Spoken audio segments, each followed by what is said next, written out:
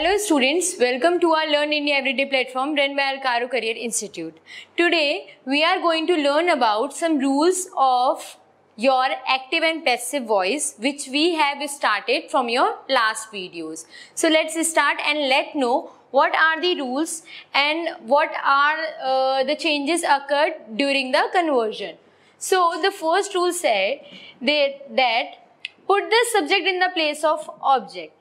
अब ये जो रूल है, ये हम किस, कौन से बिहाफ पे बात कर रहे हैं, किसके बिहाफ पे बात कर रहे हैं, जब आप एक्टिव इनटू पैसिव करते हैं, जब आप एक्टिव से पैसिव वॉइस पे जाते हैं, तब आपके रूल्स जो होते हैं, वो चेंज होते हैं, जैसे हमारे रिपोर्टेड स्पीच में हो रहे थे, जब हम डायरेक्ट टू इनडायरेक्ट जा रहे थे तो सेम एज इट इज़ जब आप active to active to passive जाएँगे तो आपका पहला रूल आपको क्या कहता है? जो हमने डेफिनेशन में ही पढ़ लिया था कि जो आपका सब्जेक्ट होगा, वो हो जाएगा आपका ऑब्जेक्ट जो आपका डूअर था, वो हो जाएगा अब आपका रिसीवर ठीक है? सेकंड जो आपका रिसीवर होगा, वो हो जाएगा आपका डूअर मतलब जो आपका ऑब्जेक्ट है, वो हो जाएगा सब्जेक्ट तो आपको दोनों को अपोजिट कर देना है दैट्स इट जो आपका सब्जेक्ट होता है, जो डूअर होता है उसको आपको ऑब्जेक्ट की प्लेस पे रखना है जब आप पैसिव में जाते हैं एंड आपको जो ऑब्जेक्ट है उसको रखना है सब्जेक्ट की प्लेस में। ठीक है? The third rule is put third form of the verb that is past participle आपको अपनी जो वर्ब फॉर्म रखनी है मेन वर्ब की, वो रखनी है third form of the verb always ऐसा कुछ भी नहीं है कि आप जब का आपका टेंस चेंज हो रहा है तो आपने उसके अकॉर्डिंग आपने वर्ब फॉर्म भी चेंज कर दी। नहीं। अगर आपका एक्टिव जो वॉइस है, वो आपका किसी भी टेंस में हो वॉट एवर डजेंट मैटर जब आप उसको पैसिव में कन्वर्ट करने जाएँगे बच्चों तो उसकी वर्ब फॉर्म जो है, वो always in always third form में ही होगी। ठीक है move to the fourth point add by if necessary after the past participle आप बाय का यूज़ कर सकते हैं अगर आपको नीड है और कब करेंगे? आफ्टर द पास्ट पार्टिसिपल मतलब मेन वर्ब यूज़ करने के बाद आप बाय का यूज़ कर सकते हैं। जो आपको इंडिकेट करता है कि आखिर में जो वर्क है वो किसके द्वारा हुआ है? ठीक है?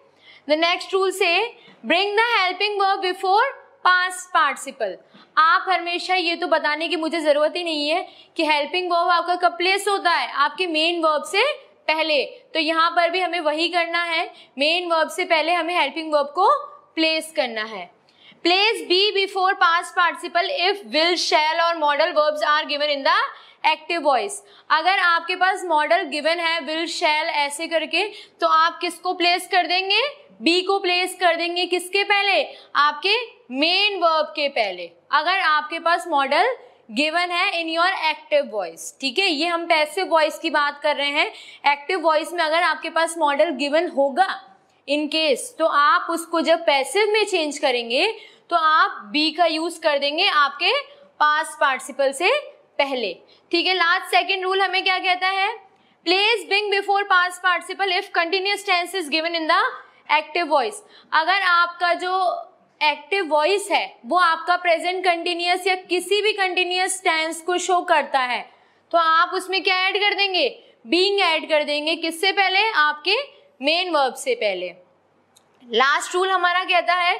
अगर आपका जो टेंस है एक्टिव वॉइस का वो है परफेक्ट टेंस तो आप मेन वर्ब से पहले बीन को ऐड कर देंगे। तो ये छोटे छोटे कुछ ऐसे रूल्स हैं बेसिक से, जो आपको आपके वॉइस में याद रखने पड़ेंगे जब आप चेंजेस कर रहे होंगे एक्टिव टू पैसिव तो आई होप आज का सेशन आपको अच्छे से समझ में आया होगा।